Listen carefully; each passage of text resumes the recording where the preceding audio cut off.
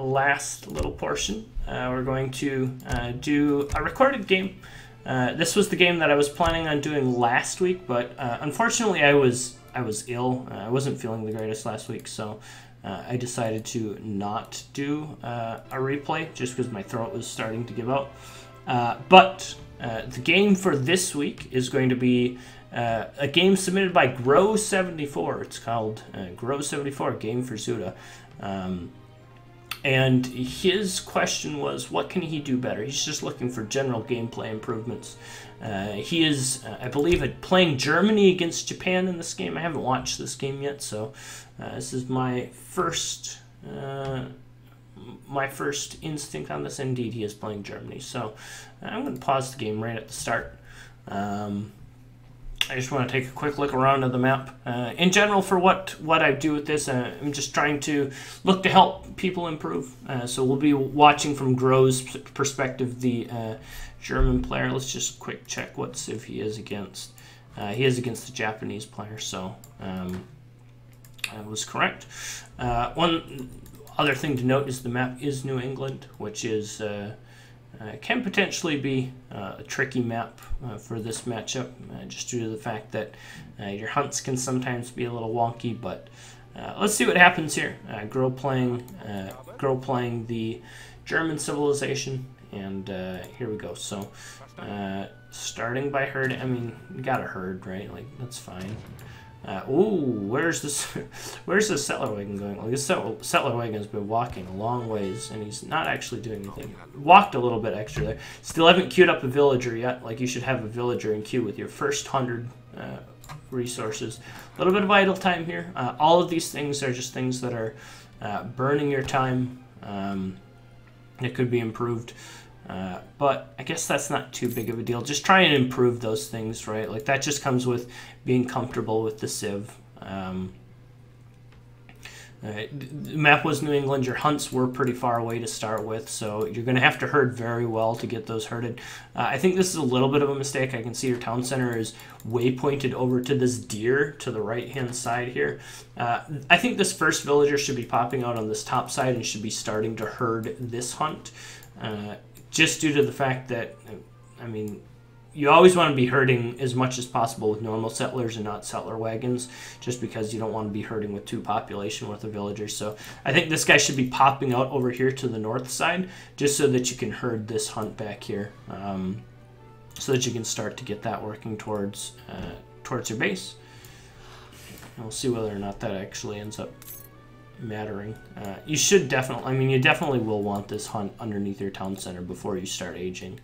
Um, you, your herding in general has not been very good here. I mean, you just like haven't shot it again like in a long time. So work on your herding. That definitely could be improved. Like this, there's no reason for this not to be underneath your town center. You can see like the animals starting to wander around uh, a little bit. Like you should have. Okay, there you herded it. Um, but you, you could have you could have had that herding and had like a dead deer underneath your town center already for your for your villagers to pop out on immediately. So um, there's that. Uh, you can micro this treasure. Feel free to kite that. Uh, oh, kind of bugged around the uh, bugged around the trees a little bit. That's nice. Uh, that's annoying. Nothing you can do about that. Like dude shows up. Hopefully you get the treasure still.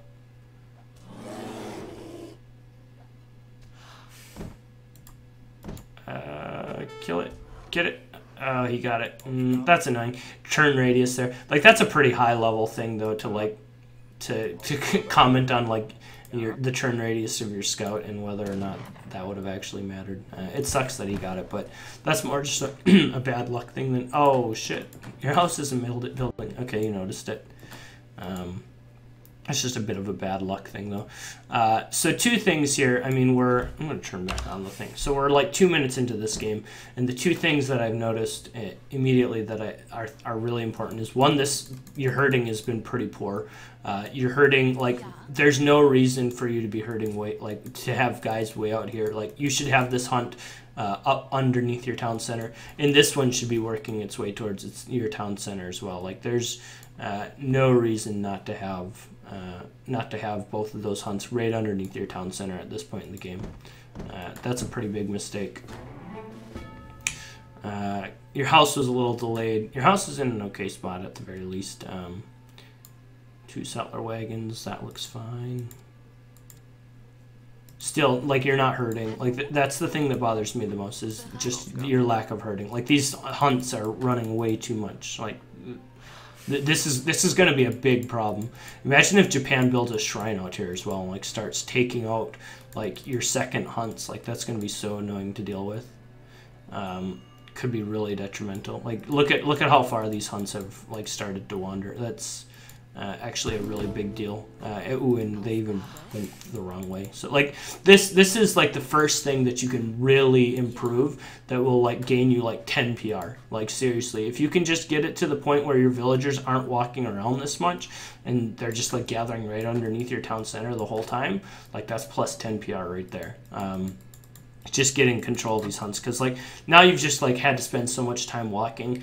In transition like right like you're probably going to do some sort of like semi ff or whatever. So you're going to have to like walk villagers over to your coin mine and they're going to have to walk from all the way over here all the way to over here instead of like popping in the town center and then over to the coin mine. So that's a long bit of walking uh, there as well. Um, stuff like that really adds up in the early game, especially with a civ like Germany, where you have five settler wagons, which are like really important to be controlling really well. So, uh, also your second hunt hasn't like it's wandered completely out of sight. Like, I, I, I would be very fearful that this is going to get shrined at some point in the very near future. Uh, and there goes like the long migration that I was talking about, like right settler wagons, like having to make that long trip all the way over there to that coin mine uh, is pretty annoying. Uh, looks like maybe you're going to herd here. That would be good. Uh, definitely would be worthwhile.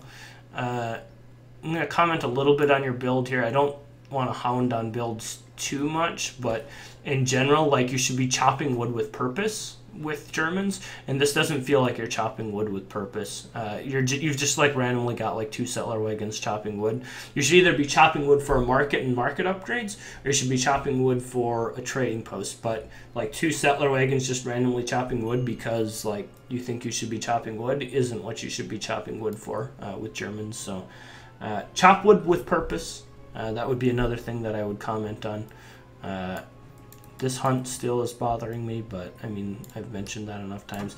This hunt still, like, herd it more, herd, herd, herd, herd, herd. Every, like, seven seconds you can shoot those guys. Get them, like, right up next to your town center. Uh-oh. There's a scout over here. He's he's building shrines. Your second your second hunt's gonna get shrined. Uh, it looks like you're doing some sort of FF, maybe some sort of semi-FF. There comes a market. Like, you could have had that market up a long time ago uh, if you would have been chopping wood with a purpose, like I mentioned. Um, you're not just not chopping wood with a purpose. Like, it, it feels like you don't really know what you want to do. It's still not hurting your hunt here. Built a market, but haven't gotten any upgrades. Uh, ooh, I hope. Okay, so that's a bit awkward. So notice one thing you just did here. Uh, you just sent like a villager that was like gathering over here all the way back over here to uh, to build houses, which is in general not that good. One thing you want to try and avoid doing is having villagers like just walk uh, walk around a lot in general. So let's let's think about like the pathing that your villagers have taken. Let's let's take this settler wagon. Let's just assume like that or this villager. Let's assume this villager was like the first villager you trained, right? And so he he's walked out here he's hunted some, he's shot some hunts, he's like wandered around out here a little bit trying to herd some hunts, and he's walked over here to this tree, he started gathering on this tree, and then he's walking over here, he's going to build this house, walk over here, build this house, and then maybe he'll like go back to chopping wood on one of these trees or walk over to this coin mine or like walk way the hell back up here and start herding this hunt which may or may not have a shrine coming up on it. Nope not yet. Um, but in general, that villager has taken like a big long journey of just like wandering all over the map. Whereas if you had herded your hunts effectively, it would have gone like from town center to hunt to town center to coin mine to town center to tree. Like you could have like centralized your entire economy like in this little box basically. But instead instead of having your economy in this box, your economy is in this box, which is far less efficient with just like in, in terms of like how much your villagers are walking. Uh, just think, how much do you want your villagers walking? Do you want them walking like realistically This is all. This is the entire distance that your villagers should have to travel this game. This encompasses your coin mine on the left, uh, plenty of trees to gather all the wood you would need for market upgrades, trading posts, anything like that. And assuming your herding is good, all of your hunts can fit in that box as well. So you could have all of your villagers not have to travel outside of this box for the first like seven minutes of the game, which is like really, really good. But instead, your villagers are confined to this size of a box, which is a lot more room for error, a lot more room for taking pressure from raids, a lot more uh, vision that you have to like you just have to be moving your camera around a lot more to be able to manage this. And so it's a, a lot more difficult just to like see stuff in, in general. So um, try and centralize everything as much as possible. Okay here you're gonna go hurting uh-oh this looks like that that looks like a shrine to me. Nope not yet. They're just standing in a goofy. Oh no. And then you shot them the wrong way. Uh, you're also pop capped here which naturally isn't good. Looks like you're going to fix that here momentarily. Uh, do have your stable coming up, have hunting dogs. At least you're getting some upgrades using your market. That's good. Um, it's still so much, like your villagers are just walking around so much, like spending so much time walking around. Like look at, now, now let's take into consideration the size of that box. That box stretches from here all the way down to here. Where, in which point, I would still argue that that box could be right here. So that's one illustration that I think is actually really good. Uh, would you rather have your villagers gathering from this box or from a box that stretches from here all the way to here? And I think anyone could reasonably uh, assume that gathering all your villagers in a box this size is going to be much better. Uh, you've trained Cav. Those Cavs should immediately be doing something, whether it's sieging a shrine or scouting. Like you haven't really seen what he's doing uh, aside from building a barracks. Um, could be applying some raid pressure. Uh, hopefully, you move forward there.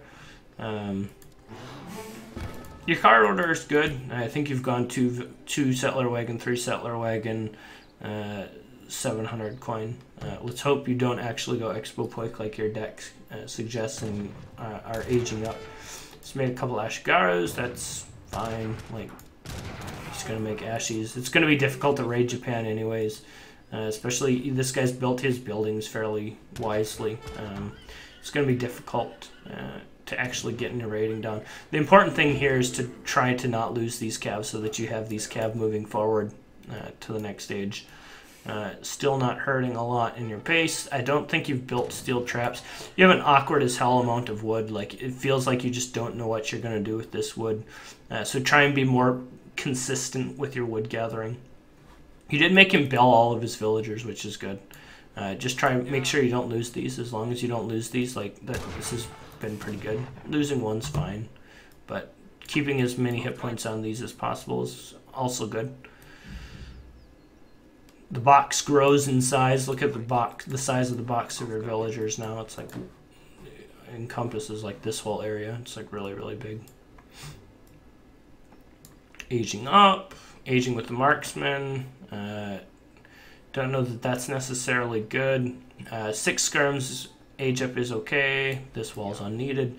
Uh, the thing is, the thing about aging with the marksman is like you have resources. Like you could have had a trading post now if you if you had a trading post with Germany, which you definitely should have uh, by this point, you you would want to be aging fast because then you could be shipping like uh, eight skirms, seven skirms, stuff like that. You'd have like shipments in bank.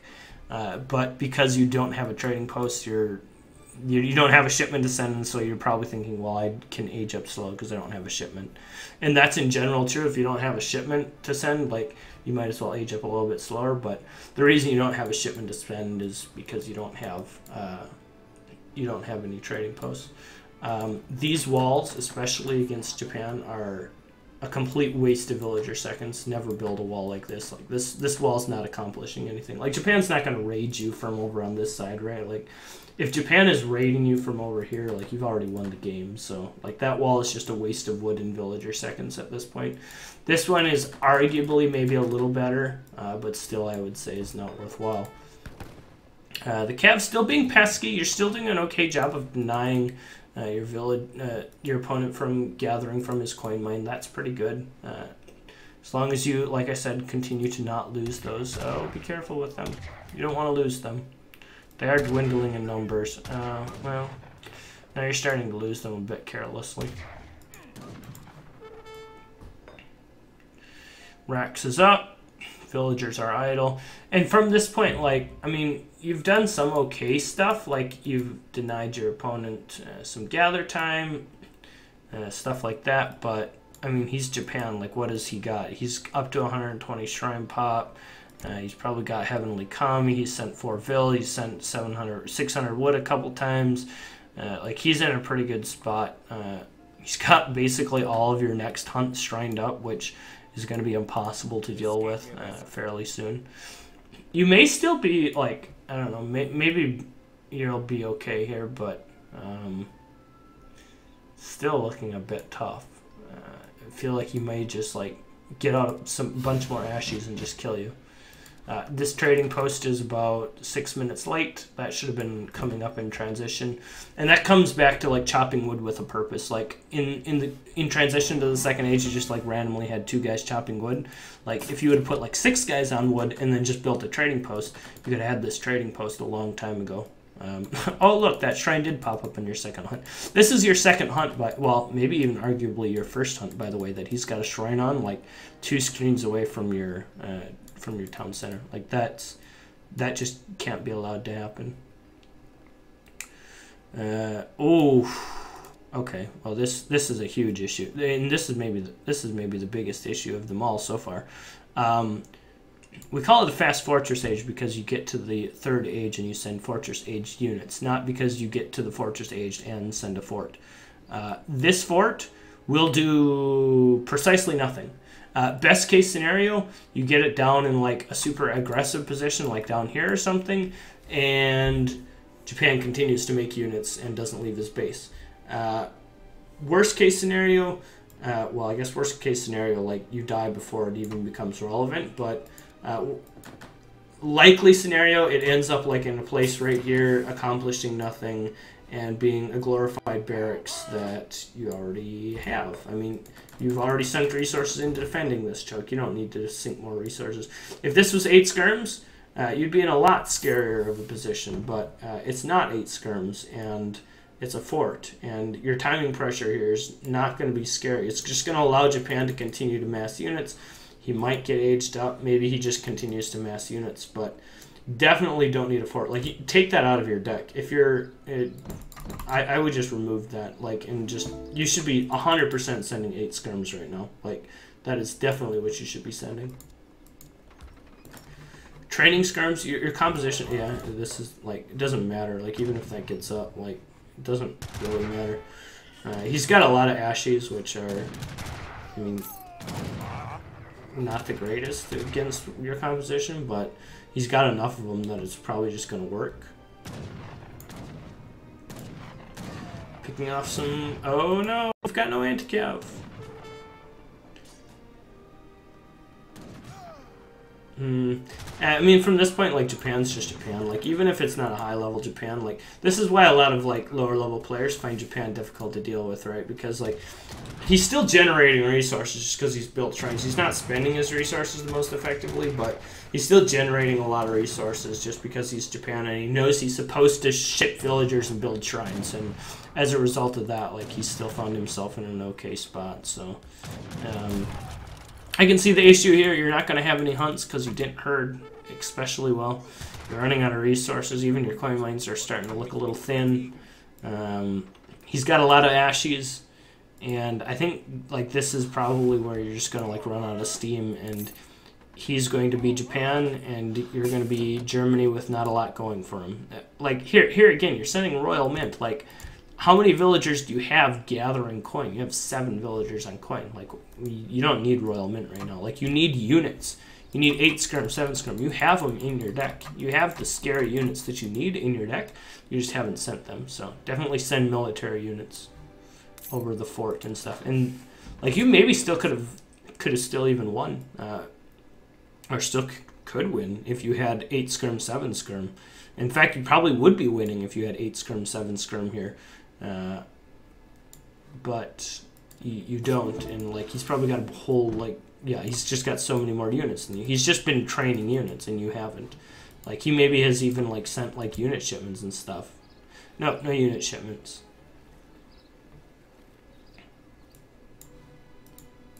But he definitely has more units than you do, uh, which when you're FFing with Germany is not something you want to allow to happen. Resources are a little out of whack here. Yeah, and I think you're just going to get caught out here. Like, he's definitely got a better army than you have. Yep, your army's dead. And I mean, with how much of the replay is left, I would guess you just resign here. Like, I mean, you're pretty far behind, yeah. You don't have any hunts because he's uh, shrined them up. So, that's the end of the game. Uh, so, let's do a quick recap of the biggest things that I think you can improve from this game. Uh, one, remember this box that I was talking about and try and keep as much of your early economy and your villager movements inside that box as possible. The less you have to run your villagers around in the early portion of the game, the stronger your economy is going to be. Uh, the box that you could have had in this game should have been about this big. That encompassed your coin mine on the left, uh, enough trees to get a trading post or a market, and a reasonable distance for you to have all of your animals herded into. Realistically, your box should have been that big.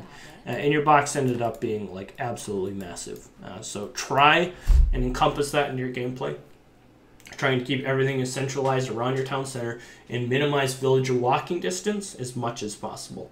Uh, the second thing I'll say is uh, work on build orders. Your, your builds just like it wasn't very crisp. Like you didn't seem to know like didn't have a plan. Like you were just chopping wood aimlessly. You just had like random amounts of villagers gathering random amounts of arbitrary resources, and we're just kind of like getting, uh, just gathering resources. Uh, try and have a purpose with your resources, um, so that you you have uh, some sort of formulated plan. And if you don't have a great idea of how to do that by yourself, watch replays. That's a great uh, resource that you can use. Check out uh, replays on RTS Sanctuary. Uh, check out replays on ESOcommunity.net. There's like loads of replays of players doing German FFs. Uh, loads and loads of replays. So uh, if you need help with finding specific replays, you can just message me. I'll be happy to find you like two or three like good build orders that you can follow uh, and help you improve in that regard. Uh, and then I guess finally it just comes down to your fortress age shipments. Had you still like regardless of the fact those first two facts, which I think improving your build order and improving your villager walk times, those are the two biggest things you can improve in your early game. And then it just comes down to decision making in Fortress Age, and you just ship bad shipments. You you shouldn't ship Fort and you shouldn't ship Royal Mint. Like you don't need those shipments. That those two shipments you can never go wrong with sending eight skirm or nine uhlan with Germany. Like these first four buttons here, like the like boom, boom, boom, boom. Like almost every game you play German in third age, you're gonna be sending a combination of these four shipments as your first four shipments. So take that into consideration um, and use that information wisely. Uh, aside from that, uh, just work on build orders. Uh, nothing to be ashamed of. Like certainly uh, nobody starts out as as a top tier player. So um, thanks for submitting your game. I definitely appreciate it, and uh, and I'll be happy to uh, to do the next one. I think someone else posted a game as well, so uh, I will have one uh, for next week, all lined up and ready to go.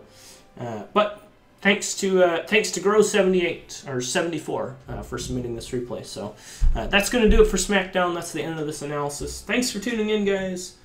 Uh, I'll be back next week, as always. I'm sure Interjection will as well. Another Saturday SmackDown. Thanks for tuning in. Uh, peace out, guys.